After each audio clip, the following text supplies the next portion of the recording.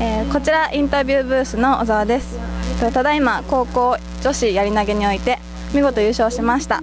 越高校の山本ひなさんにお越しいただいています。お疲れ様です。ありがとうございます。優勝おめでとうございます。ありがとうございます。えっ、と今日の投擲を自分で振り返ってどうでしたか？はい、えっと、今日の目標が40メートルだったんですけど、まあ、1センチ届かなくて、まあ、悔しかったです。でも、まあ、いつもの普段の練習よりいい投げができたと思うので、まあ、そこは良かったと思います。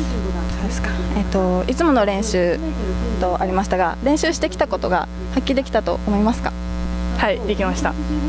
えっ、と発揮できたということなんですけど、えっと普段どんな練習を大切にしてきていますか？はい、えっと、ここ何日かはラストクロスを意識して練習しました。